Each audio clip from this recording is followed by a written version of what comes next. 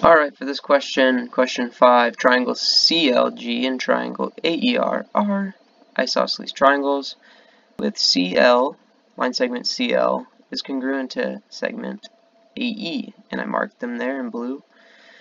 HG is congruent to ZR, I marked those in orange, and then finally angle L is congruent to angle E, I marked those in green. Prove that CH is congruent to AZ. So we're trying to show that this is the same length as this here.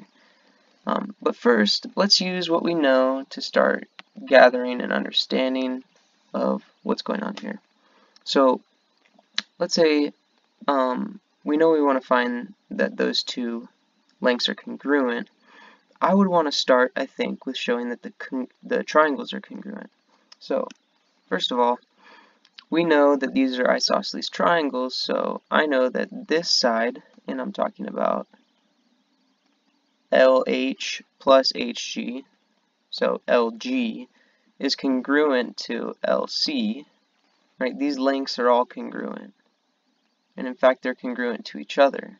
So all four of these side lengths are congruent.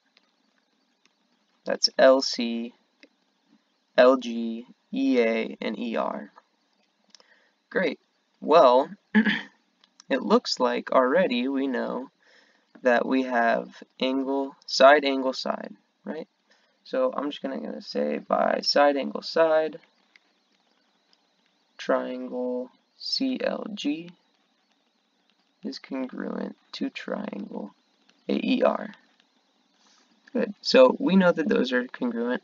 And since we know that those are congruent by CPCTC, corresponding parts of congruent triangles are congruent, we know that, maybe I'll use a different color here, use pink and say that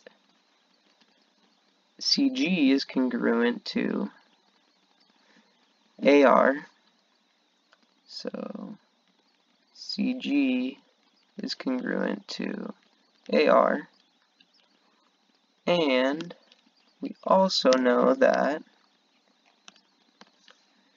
um, this angle right here, G, is congruent to angle R.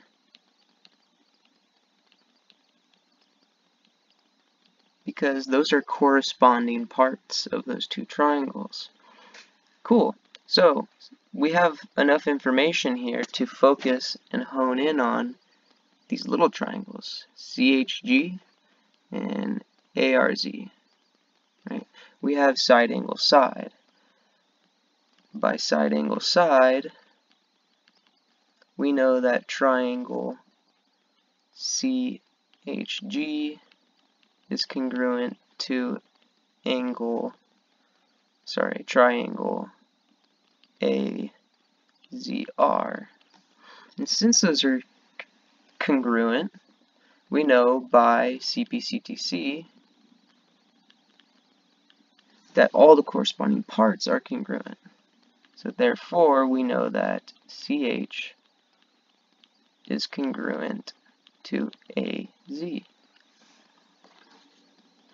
So I'll just mark that in black.